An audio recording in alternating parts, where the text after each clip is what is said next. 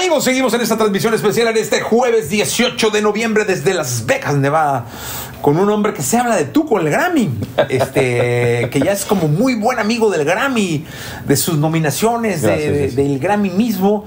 Eh, Leonel García, qué gusto me da verte. Un placer verte siempre, la verdad que, que es muy padre platicar siempre contigo. Y esta vez, pues un disco muy distinto, muy diferente a lo que normalmente vengo trabajando, que es la, la parte del, del cantautor.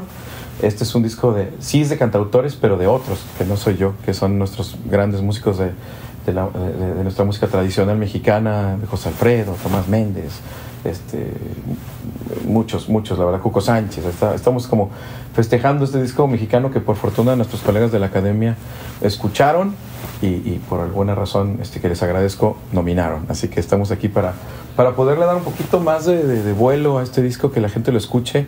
Porque es un disco padre, esos que, que son para la borrachera, para cuando llegan las fiestas patrias, para cuando quieres oír música mexicana de una manera un poco diferente a como normalmente la oímos. No, pues hasta para Navidad.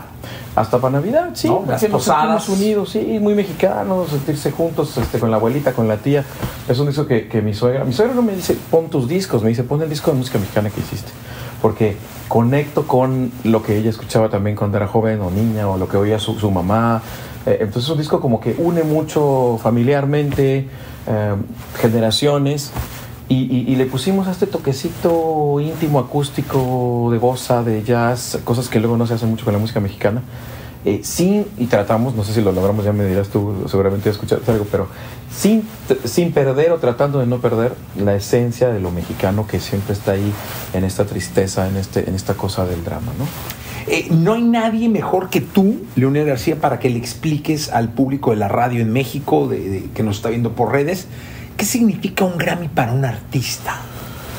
Pues es un, premio muy importante. Yo, siempre digo que, que el hecho de que quienes votan en la academia sean miembros de la industria, y cuando digo de la industria, pues me refiero a otros músicos, a otros cantantes, a productores, a gente que, que tiene créditos en los discos.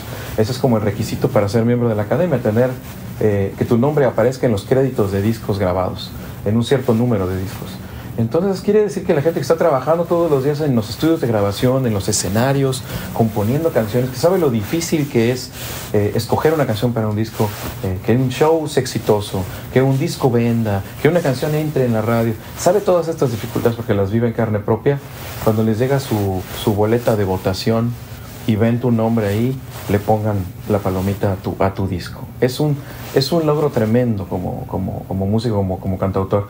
Y por eso cada vez que sales nominado es un festejo otra vez, es una fiesta, eh, como siempre le digo a Billy, no sé si vamos a ganar o no, pero ya estar nominado de entre toda esa gente, porque la gente luego no sabe que en las categorías llegan, depende de la categoría, entre 800 a 2000, más de 2000 candidatos por categoría.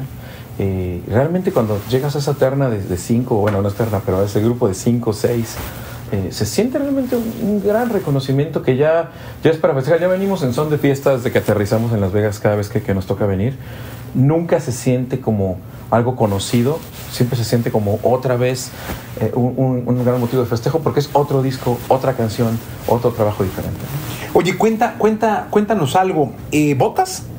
Sí, sí, sí, soy miembro de la academia hace ya varios años y me aviento todo ese proceso de, ir viendo quién está. Son procesos de varios días, no, no- te lo puedes aventar en un día, son varios días de estar sentado con tu, tu- tus boletos que ahora son digitales, este, tu bocinita, tu teléfono, escuchando canción, canción. Hay muchas cosas que no conoces, cosas que, que, sí conoces, tratas de conocer nuevas, a veces no puedes oír todo porque aventarte dos mil canciones este, de una sola categoría, pues sí te tomaría un- una semanita. Eh, entonces tienes que discernir un poco entre lo que conoces, lo que has escuchado, que alguien te mencionó ese artista, que leíste un artículo eh, y vas escuchando. Hago una lista de muchos más de los cinco que puedes votar y luego todavía tienes que depurar esa lista y ver quiénes son los que van a quedar en, en la terna, ¿no? Es bien interesante votar porque además es un aprendizaje para nosotros como músicos, los nuevos músicos que no conocías, los nuevos discos que están saliendo, los nuevos discos de los colegas que ya conoces, es muy cool, la verdad, votar. Y, y, es importante aclararle a la gente que no es un reconocimiento del público, o sea, no tiene que ver la popularidad, no. no. tiene que ver el número de streams, no tiene que ver el número de views, no tiene que ver la cantidad de playlists que estén, ni las estaciones de radio que te toquen o no, ni el lugar que hubieras ubicado en un monitor latino, nada que ver. Esto es eh, la academia, o sea, digamos, es, es como, un, yo siempre he dicho que es como más purista el reconocimiento porque es, es como la academia de científicos Totalmente. de la industria, ¿no? Sí, de hecho, la, pues como cuando tú lees las boletas cada año que te mandan, eh, la, las características con las que tienes que votar siempre son las mismas, te piden no permitas que nadie influencie en tu voto, que nadie te, te, diga por quién votar, no permitas que la popularidad de un artista influya en que, por quién vas a votar. Eh, vota por la excelencia de la música que estás escuchando, la excelencia de la grabación que estás escuchando. Y si te gusta y crees que merece el premio, no importa si no lo conoce nadie, no importa si no está en una lista, eh, vota por él, ¿no? Para que mantengamos la calidad de la música viva. Y por eso es muy, muy bonito los Grammys, porque también cada año está la, famosa categoría de Mejor Nuevo Artista, de donde han salido muchos de los que después se convierten en artistas muy importantes. Y, es como un semillero también para, impulsar nuevos talentos que vienen de toda habla hispana, porque también incluye España, incluye inclusive hasta Brasil, que no es de habla hispana, pero es latino también. Y es muy bonito, la verdad, es un proceso de, de, que, de refrendar a los que ya son leyenda, este, a los que sabemos todos que están ahí y siempre están ahí, y también de descubrir y traer a los que van a ser en el futuro los, los, los nuevos. ¿no? Leonel, ¿cómo cierras y cómo abres el año?